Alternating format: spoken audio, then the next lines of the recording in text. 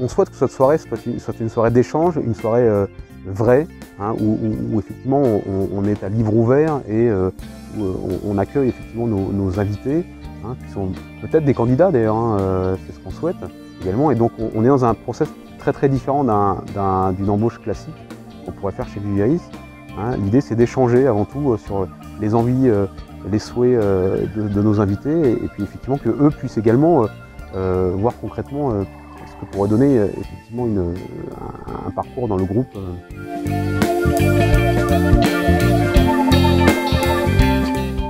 Alors déjà, je retiens une, magnifique réussite parce qu'on a réussi à avoir beaucoup d'invités.